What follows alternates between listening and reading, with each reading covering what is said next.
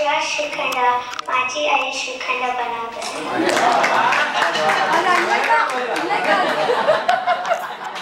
ठेवा त्रिकोण तीन बाजू असतात।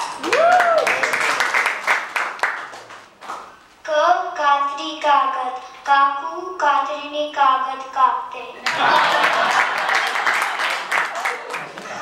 खारुथाय खारुथाय झाडावर चढते।